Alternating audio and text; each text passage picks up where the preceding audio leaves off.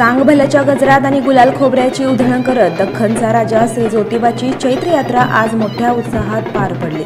सुमारे आठ ते दहा लाख भाविकांनी आज श्री ज्योतिबाचे दर्शन घेतले. आज पहाटे तीन वाजता मंदिरामध्ये घंटानाद करून आजच्या मुख्य यात्रेला सुरुवात झाली.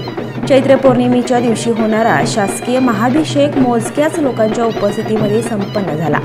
दुपारी एक वाजता जिल्हाधिकारी अमोल येगडे यांच्या हस्ते इनाम पाडळी या एक नंबर सासन काठीचे विधिवत पूजन करून सासन काठ्यांच्या मिरवणुकीला सुरुवात करण्यात आली.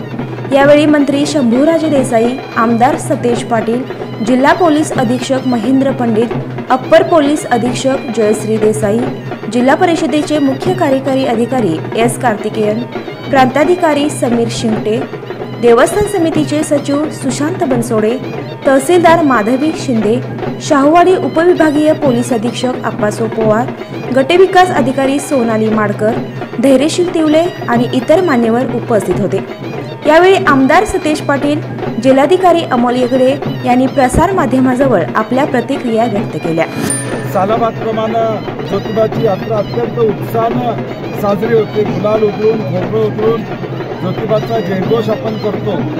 येणारा पावसाळा चांगला असो.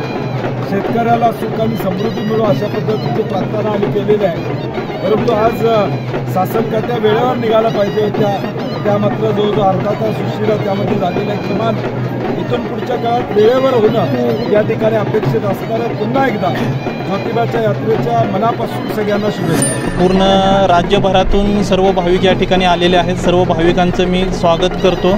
आभार व्यक्त करतो की सर्व भाविक पूर्ण नियमांचं पालन करून यात्रेमध्ये सहभागी झालेले आहेत. आणि दक्कनच्या राजापाशी आज चांगला पाऊस पडावा आणि कोल्हापूरची आणि महाराष्ट्राची प्रगती व्हावी हे एक साकडा आम्ही सर्व कोल्हापूरवासियांसाठी घातलेला आहे. सायंकाळी साडेपाच वाजता श्री ज्योतिबाच्या पालखी सोहळ्याला सुरुवात झाली.